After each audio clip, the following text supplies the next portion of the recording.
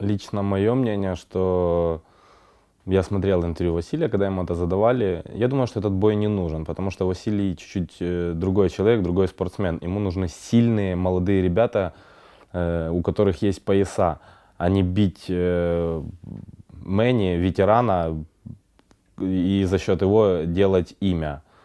Так что он ну, все правильно сказал. Этот бой нужен Боб Аруму. И, я думаю, что люди разделятся на две половины, что будут говорить, э, допустим, что да, Василий сильно он победил там Пакьяо, а другие будут говорить, да не, ну куда сильный, если он побил старика. Так что я думаю, что это ну, разговоры. Пускай другие ребята просто собираются в кучу, я не знаю, будут настоящими мужчинами и выходят против Василия боксировать.